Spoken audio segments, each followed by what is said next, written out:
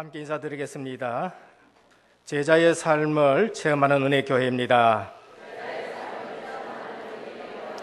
네, 제자의 축복 누리시기를 바랍니다. 복음 안에서 항상 축복하는 인생 되기를 축원드립니다. 복 있는 사람은 누구일까? 5월 달에는 모든 교회의 강단이 가정에 대해서 말씀이 쏟아지고 있는데 일부 예배 메시지를 듣다 보니까 복 있는 사람이 누굴까라는 그런 질문을 하시고서 답을 내주셨는데 그것은 복음 가진 어머니가 조용히 기도하면서 조용히 전도 역사하는 어머니 밑에서 자라는 자녀가 가장 복 있는 자다. 어, 그렇게 말씀하시는 것을 들었습니다.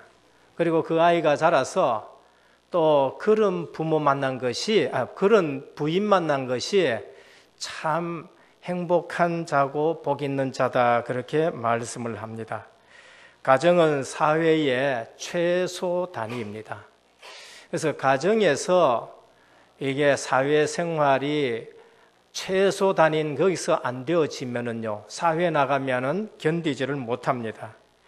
누구에게나 다 가정이 있는데 사실 혼자 생활하는 사람도 그 사람에게는 가정이라는 끈이 있습니다. 단지 지금 그 끈이 떨어졌을 뿐이지 분명히 가정이라는 끈이 있고 가정이라는 것이 있습니다.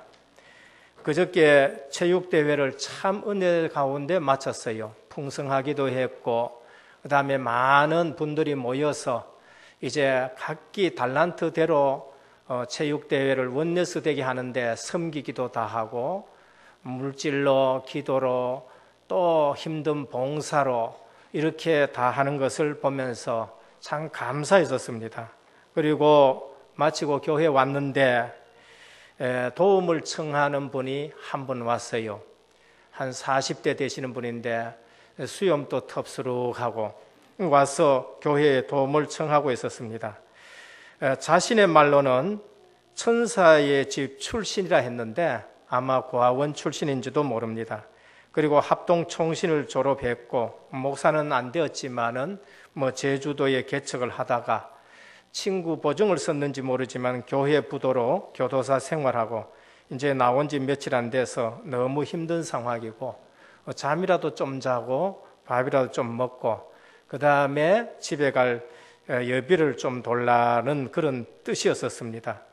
그런 분들이 많이 있지만은 그분을 보면서 그분의 말에 진리를 떠나 모습이 너무 힘들어 보여서 우리 은혜지기들을 통해 가지고 우리 은혜지기 참 잘해요. 목욕도 시켜주고 그 다음에 옷도 전부 다 또 양말, 레이, 새것 뭐 이런 거 전부 다 챙겨 가지고 어, 옷을 입히고 그 다음 또 잠자게 하고 저하고 또 대화도 나누게 하고 그래서 저녁에 이제 또 용돈을 좀 줘서 차비를 줘가지고 혹시 모자랄까 싶어서 차를 태워가지고 동대구 터미널까지 데려다 주었습니다. 그분의 말이 진짜고 거짓이고 그것을 떠나서 어, 그분의 모습을 보고는 어, 교회에 왔는데 도와드려야 되겠다 싶은 생각에서 어, 그렇게 하면서 참 가정의 소중함을 느꼈는 것입니다. 이 가정이 어려워지고 가정이 파괴되어지니까 그처럼 한평생 어려운 삶을 사는 것을 볼 수 있습니다. 우리 21세기는 위기 시대에 살고 있는데 그 위기 중에 위기가 무엇이냐? 가정의 위기 시대를 지금 살고 있습니다. 그래서 늦게 철들어 가지고 이제 가정의 소중함을 아시는 분들이 50대 이후의 남성들이라 그렇게 말해요. 나중에 체일까 싶어가지고 그래서 남성들에게 물었다 겁니다. 여러분들에게 가장 필요한 사람이 누구냐라고 보니까 두 말 안 하고 아내들이라 그렇게 말합니다. 그럼 두 번째 필요한 사람이 누구냐 물었을 때 집사람이라 그렇게 말했고요. 세 번째 필요한 사람은 누구냐 물었을 때 마누라다 그렇게 얘기했답니다. 네 번째 필요한 사람은 누구냐 하니까 철학고 대답을 했고 다섯 번째 필요한 사람이 누구냐 여보라 그렇게 얘기했다 그럽니다. 아직 30대 40대는 잘 몰라가지고 철이 없는 것 같은데요.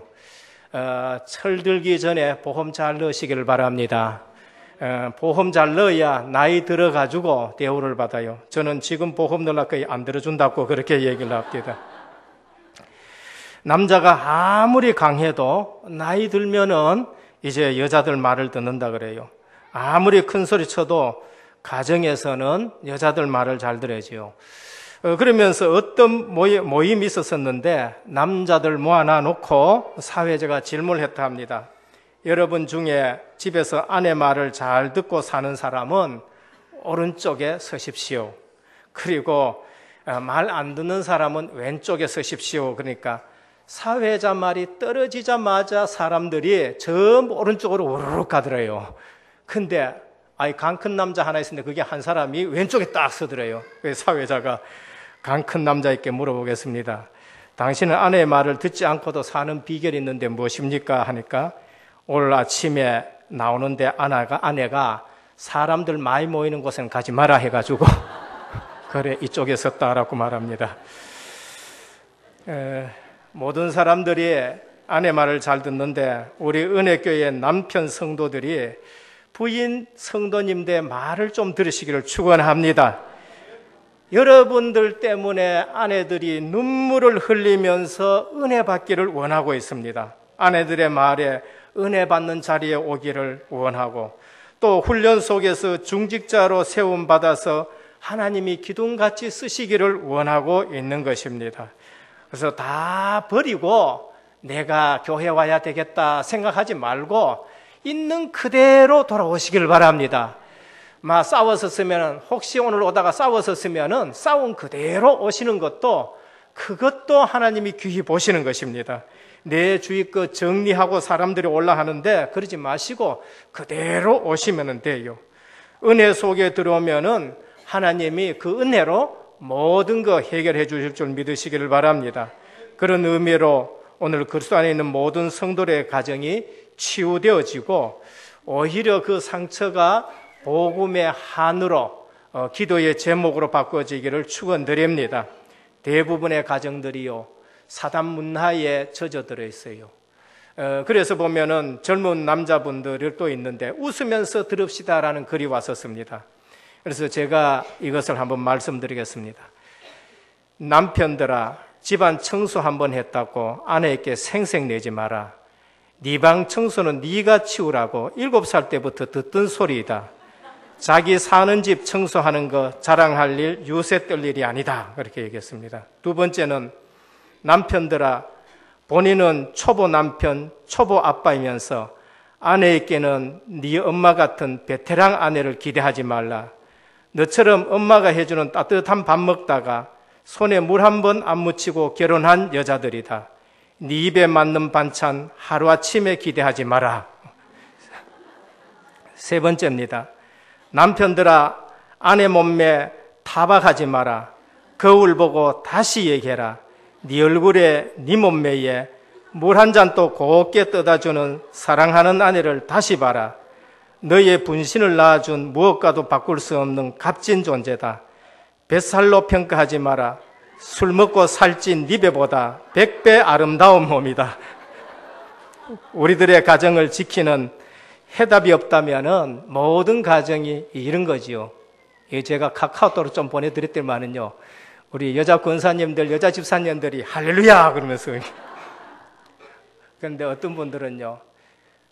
정말로 눈물 납니다. 이 기도 속으로 또 들어가시는 분들도 있습니다. 우리는 어떤 가정 속에 살든지 해답을 가져야 승리할 수 있어요. 50대 이상 겁이 나가지고 전부 말 듣는 것이고요. 세상으로 말하면은요. 이제 30대, 40대면 겁 없어가지고 아직도 익하고 있는 것입니다. 우리의 교육은 무슨 교육입니까? 성경 교육이에요. 모든 것이 하나님의 말씀으로 출발하기를 축원드립니다. 우린 주 안에서 효도하는데 여호와를 경외하는 것이 지식의 근본이고 영적 아버지 관계가 바로 돼야 모든 관계가 다 제대로 되는 것입니다. 지식과 소유가 가정에 참 행복을 줄 수 없습니다. 그것이 창세기 3장이에요. 창세기 3장 하나님 떠난 가정, 부부, 아담은 핑계로부터 시작이 되어지면서 하나님이 주신 이 여자 때문에 내가 이렇게 되었습니다. 그렇게 말하고 있습니다. 창세기 4장에 보면 그것 때문에 인생에 깨, 그 가정에 또 문제가 들어오는데 살인을 저지른 것을 볼 수 있고요. 창세기 6장에는 네피림이 가정에 들어와서 완전 가정들이 망하는 것을 볼 수 있고요. 창세기 11장은 그런 가정이 국가가 되고 사회가 되어 가지고 어려움을 겪는 것을 볼 수 있습니다. 가만히 보면은요. 가정에 대한 아픔을 맞이했던 가정들도 있습니다. 이런저런 문제로 이미 어려움을 당하고 있고요. 믿음 가지고 이기려고 나가나 참 안쓰러운 가정들도 있고 지금 또 가정의 아픔을 가지고 살아가는 가족들도 있습니다. 오늘 바울이 본 디모데의 가정, 목회자의 가슴에 담겨지는 가정인데 이 가정이 복음의 한을 가지고 눈물의 기도를 가지고 한 시대에 큰 응답받는 가정이 된 걸 볼 수 있습니다. 제일 먼저 첫 번째 가정이란 무엇인가라는 것에 대해서 우리가 결론을 바로 내려야 돼요. 가정이 뭔가 사회에서 말하는 그런 가정이 아니고 첫째 5월달 주시는 말씀 속에서 우리의 교육은 무엇이냐? 하나님 아는 교육이 가장 중요하다. 핵심을 반복해야 된다. 세상 지식이 들어오기 전에 유일하신 하나님을 잘 뿌리 내리게 해야 되고 삶으로 그걸 가르쳐야 된다. 하나님의 말씀입니다. 두 번째는 부모 공경이 근본이지만은 그 부모가 누구로부터 우리가 왔느냐? 영적 아버지를 제대로 알아야 실제적으로 그것이 성공의 시작이다. 그래서 기독교 교육의 차이는 하나님 아는 지식과 하나님 없는 지식으로 나누어진다. 그래서 생명 있는 효가 진짜 효도하는 것이다. 라고 말씀드렸습니다. 결국 하나님의 말씀 가지고 정리되는 거죠. 오늘 첫 번째 가정이란 무엇인가? 성경적으로 정리되어야 돼요. 가정은 하나님이 직접 세우신 기관입니다. 그것이 창세기 2장 18절에서 15절이지요. 여러분들이 세운 것이 가정이 아니에요. 가정은 하나님이 세우신 기관인 줄 믿으시길 바랍니다. 하나님이 이 땅에 두 기관을 세우셨습니다. 그것이 첫 번째 기간이 가정이요. 그 가정 살리기 위해서 타락한 가정 살리기 위해서 두 번째 세우신 기간이 있는데 복음 전하는 교, 저, 교회가 두 번째 기간인 것입니다. 지구상에서 하나님이 직접 세우신 기간은 그 두 기간밖에 뿐입니다. 하나님을 예배하는 영적 존재로 창조된 인간. 그 하나님 관계가 끊어지니까 우리의 삶의 가정에 여러 가지 문제가 일어나게 되는 것입니다. 저는 호린 예배 주례 때마다 선포하는 말씀이 있는데 행복의 기준을 바꿔라 그렇게 말합니다. 행복의 기준은 부인의 외모도 아니요, 남편의 지위도 아니요, 그 가정의 경제도 아니고 돕는 배필로 줬다는 것이지요. 다르면 다를수록 틀리는 것이 아니라 돕는 배필로 줬다는데 그 기준을 두시기를 축원합니다. 그래서 우리 가정에 주인이 누구야 됐냐? 주님이 주인 될 때에 행복해지는 것이지요. 물질과 외모와 지위가 기준이 되어지면은요, 그것 떨어지는 날 가정의 기준이 흔들리기 때문에 그 가정은 행복하지 않는 것입니다. 그래서 우리에게 가장 중요한 것이 무엇이냐? 주님이 주인 되시고 돕는 배필로 줬다는 것에 참 행복 찾기를 바랍니다. 외모는 날이 지나갈수록 자꾸 변화돼요. 보톡스 해봐도 그까 그 감당이 안 돼요. 그 다음에 막 피부 땡기가지고 꼬매고 땡기고 땡겨도 결국은 한계가 오게 되는 겁니다. 하도 땡기다 땡기다 보니까 나중에 목에 보이기에 보름달이 떴더래. 보니까 배꼽이 그까지 올라왔더라고 얘기는. 외모가 기준에 절대 될 수 없어요. 외모가. 예. 언젠가는 권불 10년 해가지고 그 권세도 떨어지게 되어지는 것입니다. 그래서 우리의 모든 행복의 기준, 그 다음에 교육의 기준, 삶의 기준, 우리 장로 시험 칠 때에 12진조의 첫 번째가 무엇이냐? 신구약 성경은, 신구약 성경은 모든 성도들의 삶의 유일한 기준과 법칙이다 했었습니다. 우리 지식의 기준이 성경 말씀 되기를 축원드립니다.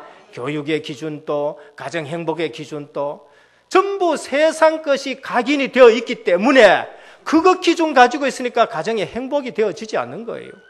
어제도 보니까, 아, 그저께도 보니까, 우리 다 마치고, 그 다음에 이제 또, 어, 귀한 분이 오셔가지고, 이 축제를 조금 돕기 위해서 오셔가지고, 예, 뭡니까, 이게 음악을 차, 라이브를 쭉 틀더라고요. 트는데, 제가 이제 그걸 좀 들어봤었습니다. 예, 들어봤는데, 뭐 다 마치고 뭐 했었으니까 이제 좀 했는데, 그 마지막에요. 편지 있잖아요, 편지. 말 없이 건네주고, 아, 옛날에 그 들었던 거, 그걸 한번 듣고 왔는데, 제가 찬송 참 많이 하거든요. 하루에 보혈 찬송을 몇 번씩 합니다. 아니, 그런데 예전에 각인된 거 다 지워졌는 줄 알았는데, 그거 한마디 들었는데, 그날 편지 그것이 자꾸, 아까 신금을 울린다고 했더니만, 그게 자꾸 떠오르는 줄. 여러분, 세상 것 빨리 지워지기를 축원드립니다. 우리에게는요, 기준이 전부 바뀌어요. 각인이란 말이 왜 나왔는가? 저는 다시 한번 확인했었습니다. 지구상에서 하나님이 세우신 기관 두 번째가 교회입니다. 마태복음 16장 13절에 이전에 주는 그리스도시요 살아계신 하나님의 아들이십니다. 인생 문제 끝입니다. 이 고백하는 자는 내가 이 반석 위에 내 교회를 세우리라 그렇게 말씀하셨어요. 이 땅에는 비바람이 불고 창수가 일어나는 것입니다. 우리에게도 동일해요. 그런데 모래 위에 지은 가정이냐 반석 위에 지은 가정이냐 따라 틀려요. 반석 위에 지은 집은 바람이 불고 비가 오고 창수가 나도 떠내려가지 않는다고 말씀합니다. 우리의 가정이 말씀에 각인되어서 말씀에 의해서 세워집니까? 말씀을 듣고 잊어버립니까? 주님은 이렇게 말씀하셨습니다. 누가 복 있느냐? 그 말씀을 듣고 행하는 자가 복이 있다고 하셨어요. 말씀을 듣고 끝나는 것이 아니라 주의 말씀을 듣고 반석되시는 그리스도 위에 세운 가정이 복이 있다고 말씀합니다. 마태복음 7장 25절이었죠. 듣기만 한 것이 아니고 그대로 살아가는 것입니다. 가정은 천국의 모형입니다. 천국이 본점이라면 가정은 지점과 같은 것이에요. 광야 생활에 성막을 세워라 했습니다. 그 성막의 모형이 어디에 있느냐? 천국에 있어요. 가나안 땅에 들어가서 성전을 세워라 했습니다. 그 성전의 모형이 어디에 있느냐? 천국인 겁니다. 그럼 오늘 우리가 교회의 모형은 어디에 있습니까? 천국이에요. 그럼 이 땅의 교회는 천국의 모형인 것이지요. 그래서 교회가 천국의 모형이요, 가정도 천국의 모형입니다. 하나님은 무조건 우리를 사랑하고 계십니다. 그래서 부모님 보면서 뭘 느껴야 되겠지요? 하나님의 사랑을 느껴야 돼요. 부모님의 사랑은 한계가 있지만은 그 부모님의 사랑이 하나님의 형상 닮은 사랑이에요. 무조건 주고 싶고 다 키워놔 놓고 네 키워놨는 감대나라 한 부모는 이 땅에 한 사람도 없어요. 우리 교회가 천국의 모형, 하나님의 사랑이 충만하기를 축원드립니다. 실제 천국에 가보면 어떻다 그래요? 여기하고는 틀려요. 진짜 교회는 세상하고 틀리고요. 방주는 세상하고 틀리는데 세상의 물결이 들어오지 않아야 돼요. 물 위에 떠 있지만은 물하고는 분리되어가 떠 있는 것이 방주고 교회인 줄 믿으시길 바랍니다. 그 교회의 운영은요, 세상 방식 가지고 운영하는 게 아니에요. 신본주의 하나님의 말씀을 따라서 그렇게 그렇게 가는 겁니다. 그 천국에 가보니까요. 전부 다 뭡니까? 숟가락 길단한 거 전부 들고 있다 합니까? 천국은 섬기는 데거든요. 내가 온 것은 섬김을 받으려 함이 아니요 도리어 섬기라고 많은 사람의 대속물로 주려 함이라 천국은 섬기는 것이에요. 그리고 천국에 가 보니까요 전부 살이 윤택하게 이렇게 쪄요. 지옥에 가 보니까요 전부 빼빼 숟가락 그것도 이마땅한 거 들고 있는데 그 지옥에 가니까요 어떻게 하냐면 전부 그 긴 숟가락을 지가 퍼먹으려고 하이기는 입에 들어가지는 않고 이래가지고 어깨 너머로 다 들어가가지고는 흘리보고 우리 아이들 있잖아요. 아이들처럼 막 숟가락 드니까 입에는 안 들어가고 전부 다 흘리가 빼빼 말랐고 천국에 가보니까 딱 앉아가 저쪽에 앉았고 있더니 떠가지고 누구 입에 주나 상대편 입에 떠줘요. 저쪽에서 내 입에 떠. 잘 먹고 전부 다. 그것은 비유인데 그게 사랑과 섬김이 있는 곳이란 거죠. 우리 은혜교회가 이렇게 되기를 축원드립니다. 천국의 모형. 그러므로 가정에 대한 믿음을 가져야 됩니다. 하나님이 우리 가정에 믿음을 주신 거예요. 우리 가정은 하나님이 세우신 가정이다. 하나님이 이루어준 가정이다. 그렇게 믿기를 바랍니다. 원래 가정에서 자녀들은 그 가정에 대해서 불평할 수 없어요. 부모님은 내가 선택할 수 있는 분이 아니잖아요. 부모님은 내가 선택할 수가 없어요. 형제도 내가 선택해서 형제가 된 게 아니에요. 그러면 하나님의 절대적인 계획이 있는 것이다. 믿기를 축원드립니다. 그래서 부모님 보고 불평할 것이 아니라 우리 가정에 대해서는 하나님의 절대적인 계획이다. 가정에 오면은 참 평안이 있어야 됩니다. 둘째, 가정의 약한 부분에 속지 말아야 되는 것입니다. 우리 가정은 약한 부분들이 다 있더라고요. 그것이 사단의 전략이 되면 안 됩니다. 디모데의 가정 연약한 부분이 있습니다. 3절에 보면은 바울이 디모데를 보면서 내가 밤낮 강구하는 가운데 쉬지 않고 너를 생각하며 정결한 양심으로 조상적부터 섬교는 하나님께 감사하고 내 눈물을 생각하여라고 했었습니다. 디모데 가정에 눈물을 생각하는 것, 연약한 부분이 있겠지요. 너 보기를 원하면 내 기쁨이 가득하게 하려면이 이는 내 속에 거짓이 없는 믿음이 있음을 생각함이라. 이 믿음은 먼저 내 외조모 로이스와 내 어머니 유니게 속에 있더니 내 속에도 있는 줄 확신하노라. 외조모 로이스로부터 복음이 시작이 되었어요. 그것이 어머니에게 전달되고 그 믿음이 또 이제 디모데에게 전달되었습니다. 외조모 로이스 남편의 이름이 없습니다. 어머니 유니게의 남편의 이름이 없어요. 그러면은 이것이 디모데에게는 아픔이 될 수 있어요. 이것이 디모데의 연약함이 될 수 있습니다. 이방 결혼이어서 남편이 아직 교회에 오지 아니할 수도 있었고요. 두 분 할머니, 어머니의 남편이 일찍 돌아가셨을 수도 있는 것입니다. 그래서 디모데에게는 이것이 아픔이었을 수도 있는 거지요. 그런데 디모데의 가정에 이 연약한 부분이 오히려 기도의 제목으로 바뀐 것입니다. 네 눈물을 생각하여 이것이 기도의 제목이 바뀌어. 쌍미 짱 믿은 가정의 연약함일 수가 있습니다. 그러면은 가정의 연약한 부분에 절대 속지 말아야 되죠. 가정의 연약함이 오히려 기도의 제목으로 바뀐 것입니다. 그 가정의 연약함 때문에 하나님만 바라봤는데 그것이 기회가 됐고 그것이 장점이 됐고 그것이 순전한 믿음으로 바뀌어졌고 불로 연단해도 없어지지 않을 정금 같은 믿음이 된 줄 믿습니다. 이게 바로 사단에게 속지 않는 것입니다. 그런 디모데가 바울의 영적 아들이 됐고 정말로 영적 아버지를 만나게 되겠죠.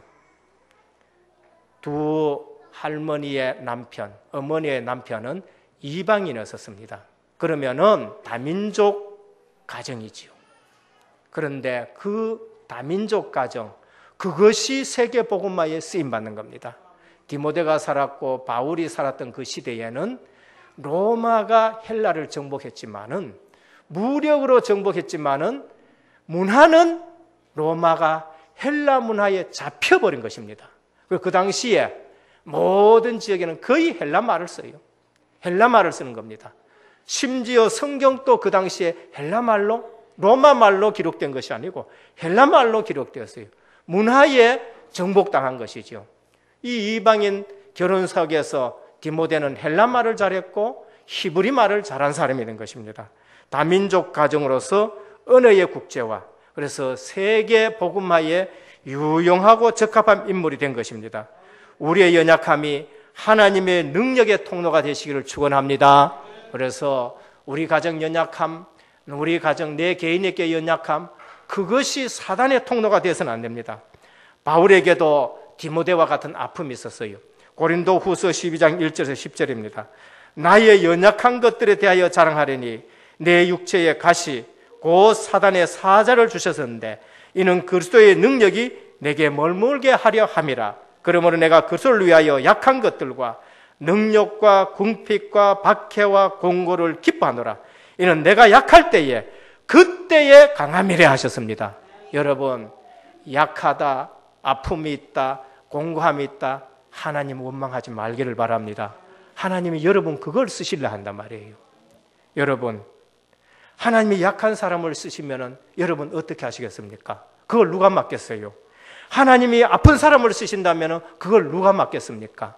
그것이 디모데였고 그것이 바울이었고 또 제일 약한 다윗 여덟째 아무 힘없는 막내 하나님이 그걸 쓰셨단 말이에요.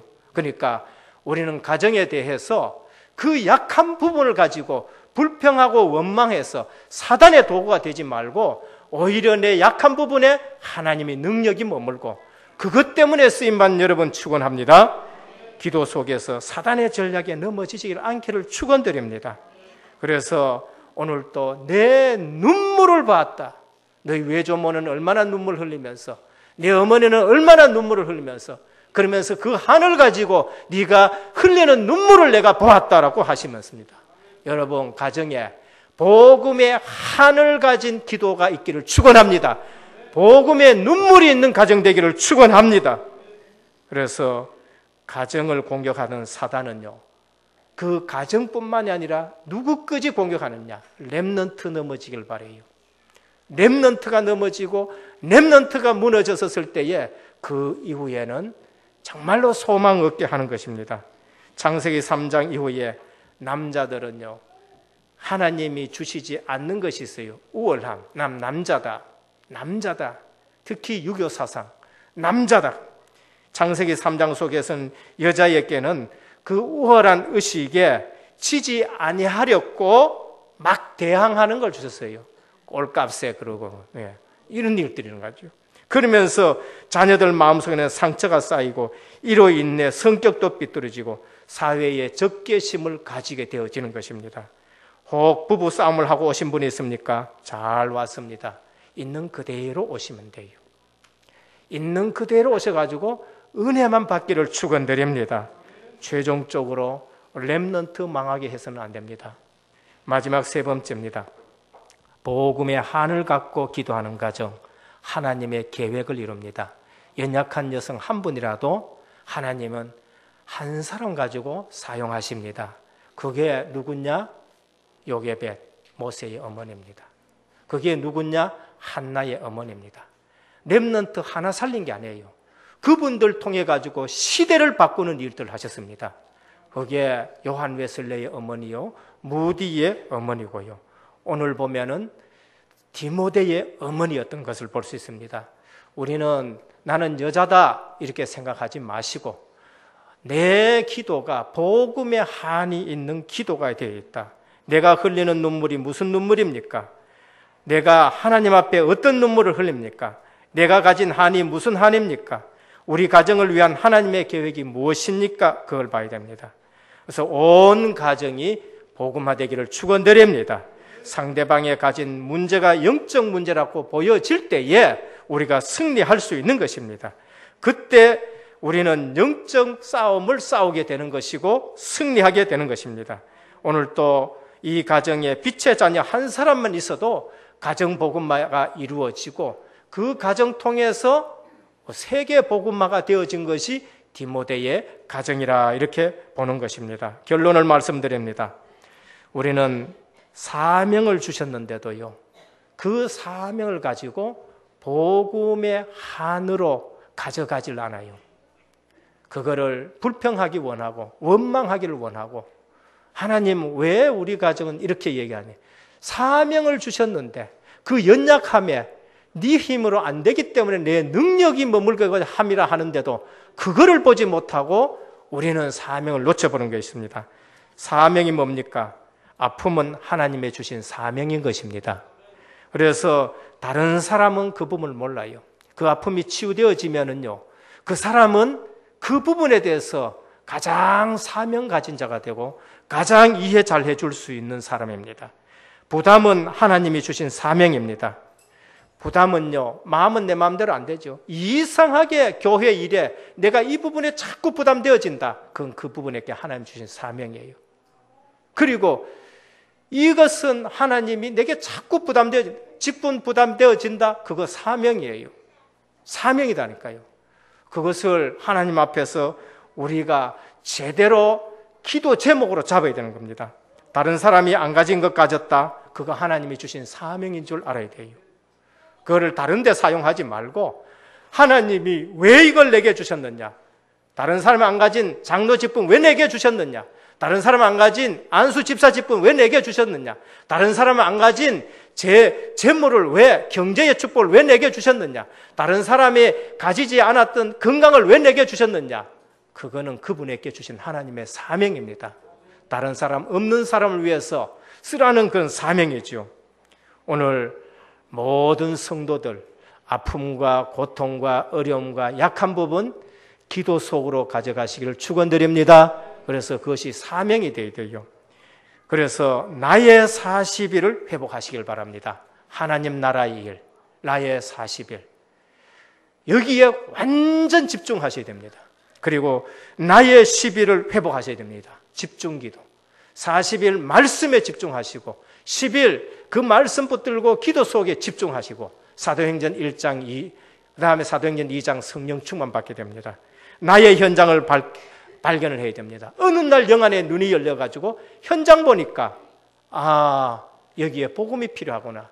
은이 필요한 것이 아니고 금이 필요한 것이 아니고 은과 금은 내게 없거니와 내게 있는 것으로 내게 주느니 곧 나사렛 예수 그리스도 이름으로 일어나 걸으라 하셨습니다. 오늘 우리 가정 현장 눈 뜨시기를 축원드립니다. 내게 주신 현장 내 지역 눈 뜨시기를 축원드립니다. 그래서 사명이 뭐냐? 아픔이 사명입니다. 부담이 사명입니다. 내가 가진 것 그거 하나님이 주신 사명이에요. 그것 가지고 말씀 속으로 40일, 나의 40일을 회복하고, 나의 10일 집중 기도를 회복하고, 나의 현장 발견하는 영안이 열리기를 축원드립니다. 이제 사명을 넘어서 뭐를 발견해야 되지요? 천명으로 발견. 하나님이 주신 하나님의 명령 천명. 이것이 천명으로 드려지기를 들려지기를 우리 주 예수 그리스도 이름으로 축원합니다. 기도하겠습니다. 하나님 감사합니다. 오늘 또 우리에게 내 자신에 대한 하나님의 계획을 발견하고 나를 통해서 가정을 살리기를 원하시는데 복음의 한 복음의 눈물이 있는 우리 가정 되기를 원합니다. 가정에 대한 불평하기보다가는 하나님의 계획을 발견하게 해 주옵시고 내가 살아서 가정 살리는 것이 하나님이 주신 사명인데 오늘 또 약한 부분에 하나님의 능력이 머물게 하옵소서 예수 그리스도 이름으로 간절히 기도드립니다. 아멘.